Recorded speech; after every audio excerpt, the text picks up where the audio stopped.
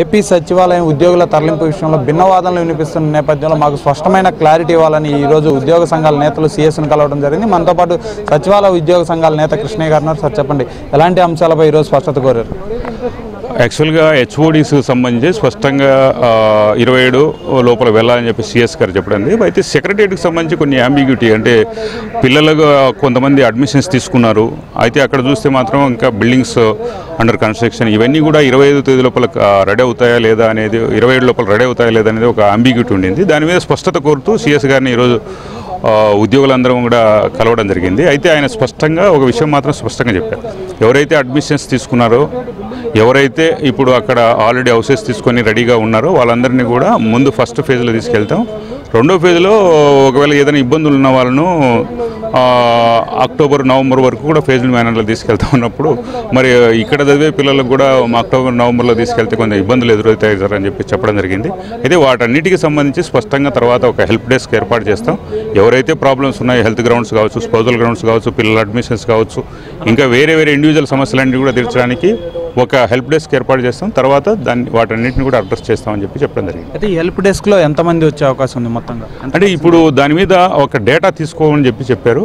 ఆ డేటా కూడా ఆ హెల్ప్ డెస్క్కి ఇవ్వడం జరుగుతుంది. వాళ్ళు గవర్నమెంట్ కూడా దాని మీద స్పష్టంగా ఒక అడ్రస్ చేయడం జరుగుతుందని నేను అనుకుంటున్నాను. ఒకవేళ ఈ జూన్ ఇరవై ఏడు లోపు ఈ అకాడమిక్ ఇయర్ లోపు తీసుకెళ్ళినట్టయితే నెక్స్ట్ ఇయర్ వరకు పొడిగించే అవకాశం ఉందంటారు? ఎందుకంటే ఇక్కడ వెళ్తే ఈ అకాడమిక్ ఇయర్లో ఇప్పుడు ఈ మంత్లో వెళ్ళాల్సిందే లేదంటే next academic year academic year కోల్పోవడం అనేది అది మంచి పద్ధతి కాదు. ఎందుకంటే డిస్టర్బ్ పిల్లల భవిష్యత్తుకు సంబంధించి మనం కొన్ని నిర్ణయాలు కొంత లేట్ అయినా పర్లేదు కానీ అయితే ఇక్కడ అడ్మిషన్స్ కావాలనుకున్న వాళ్ళు ఈ మంత్లో వెళ్ళడం అనేది మంచిది.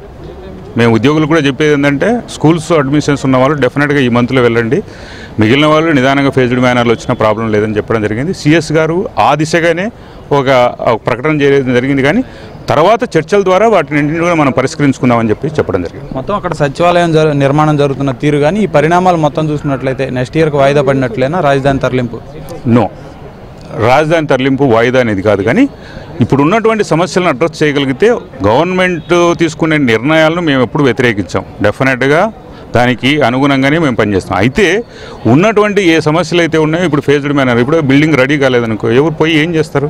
ఇప్పుడు అక్కడ ఉన్నటువంటి పరిస్థితుల్లో అన్నీ రెడీ అయ్యి మామిడి తోరణాలతో స్వాగతం పలికితే ఉద్యోగుల ఎఫిషియన్సీ పెరుగుతుంది. ఆ మేరకు పనిచేయడానికి కూడా అందరూ కూడా ప్రశాంతంగా పనిచేయాలనేది మా ఉద్దేశం. మనతో పాటు ఇంకా ఉద్యోగ సంఘాల నేతలు సార్ చెప్పండి. ప్రధానంగా ఎలాంటి డిమాండ్లను మీరు సిఎస్ ముందు ఉంచారు? మేము ఇప్పుడు మా వ్యక్తిగత విషయాలు మాకు కావాల్సిన సౌకర్యాల గురించి అడగలేదు. మేము క్లియర్గా ఏంటంటే గవర్నమెంట్ సంవత్సరం నుంచి షిఫ్టింగ్ అంటే మాకు క్లియర్ ఇన్స్ట్రక్షన్స్ ఇవ్వలేదు. అక్కడ బిల్డింగ్ కూడా రెడీ కాలేదు కాబట్టి ఎంప్లాయీస్ మెంటల్గా ప్రిపేర్ కాలేదు వెళ్ళడానికి. కాబట్టి ఎవరైతే బిల్డింగ్ ఉన్నారో అంటే కొందరు గవర్నమెంట్ తీసుకెళ్తే నమ్మకంతో అక్కడ పిల్లల్ని స్కూల్లో చేర్చుకున్నారు ఇంటికి అడ్వాన్స్లు ఇచ్చిండ్రు. వాళ్ళంతా రెడీగా ఉన్నారు. రెడీగా ఉండే వాళ్ళని తీసుకెళ్ళండి. మిగతా వాళ్ళని నెక్స్ట్ ఇయర్ తీసుకెళ్ళండి సార్ అని చెప్పి మీటింగ్లో తీర్మానించిన మా తీర్మానాన్ని సీఎస్ గారికి తెలియజెప్పడం జరిగింది. దాని మీద సీఎస్ గారు షిఫ్టింగ్ మీద నేను సీఎం గారు డెసిషన్ అది. నేనేం చెప్పలేను. కాకపోతే సెకండ్ జూన్ ట్వంటీ సెవెంత్ అనేది సెక్రటరియట్ క్రైటీరియా కాదు హెచ్ఓడిస్కి మాత్రమే. సెక్రటరియట్ ఎప్పుడు బిల్డింగ్ కంప్లీట్ అయితే అప్పుడు దాని బిల్డింగ్ కంప్లీట్ అయ్యే దాన్ని బట్టి ఒక్కొక్క బిల్డింగ్ కంప్లీట్ అయితే కొన్ని డిపార్ట్మెంట్ల దశల వారీగా తీసుకెళ్తామని చెప్పిండ్రు. అది కూడా మాకు ఇబ్బంది సార్. ఎందుకంటే పిల్లలు చదివే పిల్లలు ఉండేవాళ్ళు ఇయర్ మధ్యలో అకాడమిక్ ఇయర్ మధ్యలో పిల్లల్ని స్కూల్ మార్చుకోవడం కష్టం కాబట్టి వాళ్ళందరినీ తీసుకెళ్తే ఇప్పుడే తీసుకెళ్ళండి అందరినీ. లేదంటే నెక్స్ట్ ఇయర్ తీసుకెళ్ళండి అని చెప్పి మేము అడగడం జరిగింది. దాని మీద ఆయన ఎంతమంది ఉన్నారో ఆ డాటా ఇవ్వండి. దాన్ని డాటా తీసుకొని మేము ఎంత ఇయర్ ఎంతమంది అకామిడేట్ చేయగలమో చూసి ఒక వారం రోజుల్లో దాని మీద క్లియర్గా ఇన్స్ట్రక్షన్స్ ఇచ్చామని చెప్పడం జరిగింది. ఎప్పుడు మళ్ళీ ఒకసారి కలుద్దాం అన్నారు. అయితే రేపా ఎప్పుడు హెల్ప్ డెస్క్ పెట్టి రేపు ఈ సమస్యలు అదే ఎవరైతే ఇంకా పర్సనల్ వ్యక్తిగత సమస్యలు అంటే మెడికల్ హెల్త్ ప్రాబ్లమ్స్ ఉండేవాళ్ళు స్పౌజ్ కేసు ఉండేవాళ్ళు వీళ్ళందరూ మీ వ్యక్తిగత సమస్యలు కూడా చెప్పుకోండి ఒక హెల్ప్ డెస్క్ పెడతామని చెప్పడం జరిగింది. ఇవన్నీ ఎంప్లాయీస్ ఒపీనియన్ అంతా తీసుకొని ఒక వన్ వీక్లో క్లియర్ ఇన్స్ట్రక్షన్స్ ఇస్తామని చెప్పడం జరిగింది. సచివాలయంలో పనిచేసేటువంటి ఉద్యోగులు అదేవిధంగా హెచ్ఓడీస్లో పనిచేసే ఉద్యోగులు ఇక్కడ ఎవరైతే స్టేట్ లెవెల్ ఎంప్లాయీస్ అక్కడికి తరలిపోతున్నారో వాళ్ళందరికీ కూడా చాలా సమస్యలు ఏర్పడ్డాయి. ఈ సమస్యలు అడ్రస్ చేయడానికి గత సంవత్సరం నుంచి పలు సందర్భాల్లో ప్రభుత్వం నుంచి ప్రకటనలు వచ్చాయి. కేబినెట్ సబ్ కమిటీ కావచ్చు సిఎస్ గారు కావచ్చు అంతకుముందు ఉన్న సిఎస్ గారు కావచ్చు చాలాసార్లు పిల్లల local status thirty percent HRA displacement allowance తర్వాత ఉద్యోగుల ఇళ్ళకు సంబంధించినటువంటి హౌసింగ్ పాలసీ ఇవన్నీ కూడా డిస్కషన్కి రావడం జరిగింది. అయితే ఈరోజు మేము స్పష్టంగా మొట్టమొదట ఒక వాక్యం చెప్పదలుచుకున్నాం. తరలింపులకు మేము అక్కడికి పోయి పనిచేయడానికి వ్యతిరేకం కాదు. అయితే ఏవైతే సమస్యలు ఉన్నాయో వాటిని అన్నింటినీ కూడా అడ్రస్ చేయండి. ఉదాహరణకు అద్దెలు భారీగా పెరిగాయి. అక్కడ అద్దెలు చాలా ఎక్కువగా ఉన్నాయని చెప్పేసి మేము చెప్పిన సందర్భంలో కొంతమంది నుంచి వచ్చినటువంటి మీరు ఉండండి అని చెప్పేసి సలహాలు ఇస్తున్నారు. దయచేసి మీరు ఆలోచించండి. ఇప్పుడు ఉన్నటువంటి సమస్యల్లో స్కూళ్ళు కానీ ఇక్కడ చదివినటువంటి పిల్లలు అక్కడ ఉన్నటువంటి స్కూల్లో చేరితే ఎలాంటి సమస్యలు? ఇలాంటి అన్ని సమస్యలను ఉద్యోగుల నుంచి కూడా మాకు వచ్చినటువంటి ఫీడ్బ్యాక్ దృష్ట్యా ఇరవై ఏడు లోపల ఒక రోడ్ మ్యాప్ రాలేదు.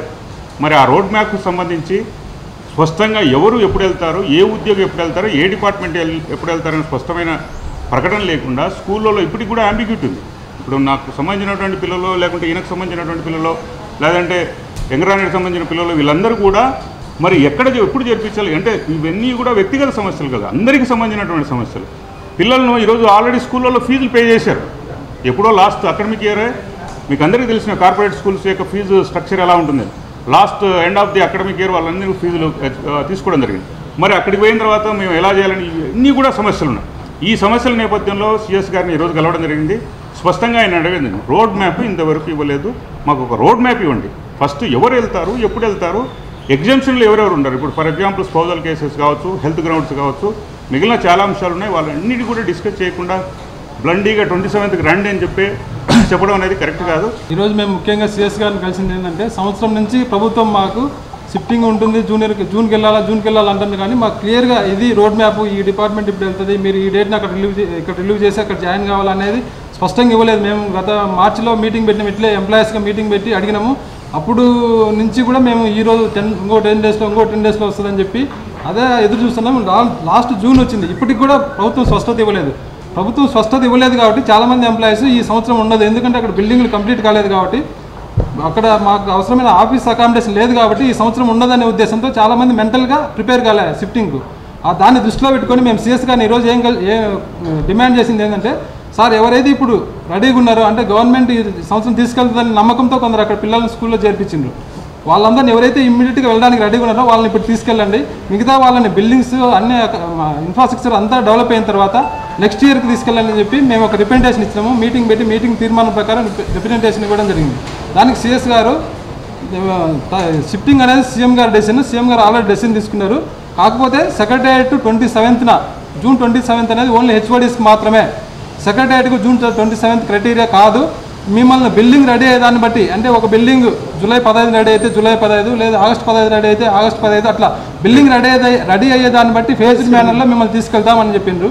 దానికి మేము మళ్ళీ క్లారిఫికేషన్ కావాలని అడిగినాము. ఎందుకంటే ఇప్పుడు పిల్లల్ని ఇప్పుడు స్కూల్లో ఇక్కడ చేర్పించాలా మా ఇప్పుడు మేము ఉండే డిపార్ట్మెంట్ ఆగస్ట్ కంప్లీట్ అయితే మేము ఎట్లా ఇప్పుడు ఇక్కడ ఉండాలి ఇప్పుడు ఇక్కడ ఉంటాము మళ్ళీ అక్కడ ఉంటాం మా పిల్లల పరిస్థితి ఏంది?